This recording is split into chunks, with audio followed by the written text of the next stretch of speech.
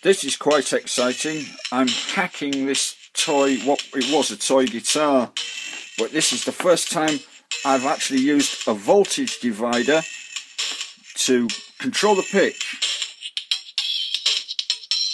Wow, it goes faster fast, and it goes slow, slow. Ooh, and flashing lights that flashing lights that go in time with it. Oh, that's excellent.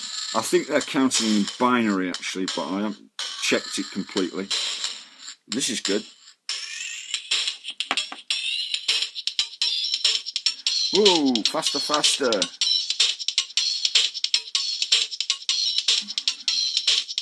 Uh, and slower, slower. Let's have another rhythm before it runs out. Ooh, fantastic.